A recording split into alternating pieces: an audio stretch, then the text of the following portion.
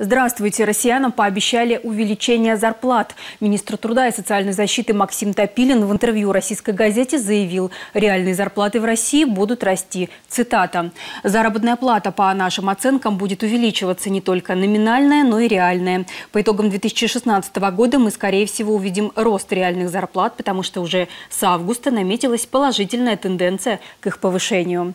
Также министр добавил, что необходимая работа с региональными властями уже ведется միջոցը։ Что касается сегодняшнего дня, самые высокооплачиваемые пермяки – руководители, строители и энергетики.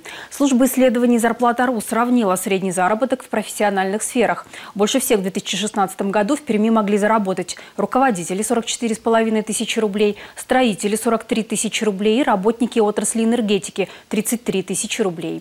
Также в прошлом году выросла зарплата у государственных служащих до 18 тысяч рублей, а вот у медработников средний заработок снизился снизился до 22 тысяч рублей. Каждая пятая строительная компания в Прикаме прекратила работу в прошлом году. Как сообщает бизнес-класс со ссылкой на опрошенных экспертов, в первую очередь речь идет о небольших подрядных организациях. Основная причина – нехватка оборотных средств. По данным Перемстата, по итогам 10 месяцев 2016 года число убыточных компаний в строительной сфере достигло 35,5%. А по информации Краевого министерства строительства и ЖКХ на начало января 9 застройщиков находятся в процедуре банкротства. Открытие второго гипермаркета «Лента» в здании Пермской ярмарки запланировано на апрель 2017 года. Как стало известно СМИ, сейчас питерский ритейлер завершает работы по реконструкции фасада комплекса и набирает персонал. На работу в магазин требуется полный штат сотрудников, продавцы, логисты, кладовщики, повара, пекари, мойщицы, кассиры и администраторы. В новогодние праздники россияне покупали в интернете смартфоны, видеорегистраторы и мелкую бытовую технику.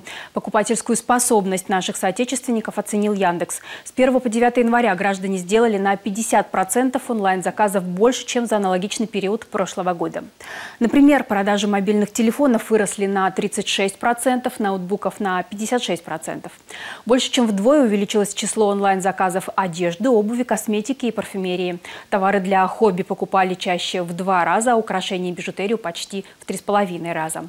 Удвоилось и число покупок в китайских интернет-магазинах. При этом средний чек составил 1700 рублей. Курсы валют на 18 января. Доллар 59 рублей 40 копеек, евро 63 рубля 28 копеек. На этом у меня все. Удачи в делах.